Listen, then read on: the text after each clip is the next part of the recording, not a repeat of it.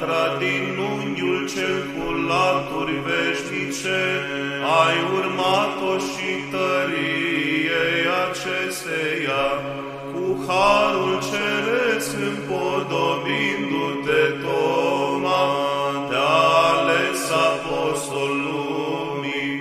Pentru aceasta și noi cu credință prăznuind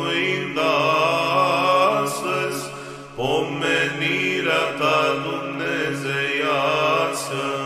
Slavă înălțăm stăpânului a toate, slavă celui dintr-o înălțime, slavă purtării tale de grijă, pur